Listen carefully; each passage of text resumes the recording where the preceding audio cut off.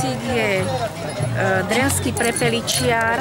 Je to prvé, prvý psík tohto plemena na Slovensku. Je dovezený z Holandska. E,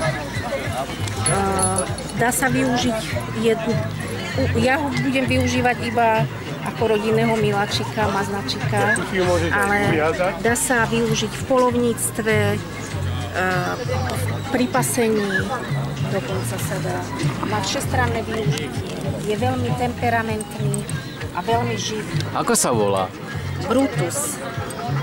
To je také brutálne meno. No, taký, lebo sa narodil a bol veľmi veľký. Bol, hádam, o polovicu väčší ako, ako jeho súrodenci. Tak pretože brutálne veľký.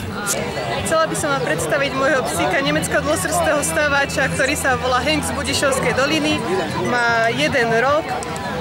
Za sebou má skúšky blok stávačov a toto je jeho druhá výstava prvá klubová a bude polovať v polovnom združení Červeník.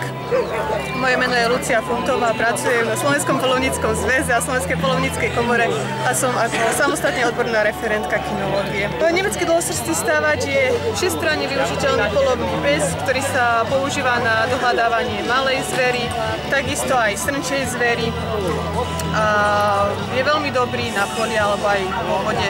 Polujem v polovníckom združení Abraham a budem predvádzať v triede doražku nemecký hrubosrčný stavač Sax Ochnik. Ako sa využíva toto plemeno? Je to všestranné plemeno, stavači, napolovačky, bažanky, gajaci. Všestranný pes sa dá z toho urobiť. Moja suka sa volá Ani, je plemeno Puderpointer, je to kontinentálny stavač. Dá sa používať na šestrannosť, to znamená e, práca v lese, práca na poli a práca vo vode.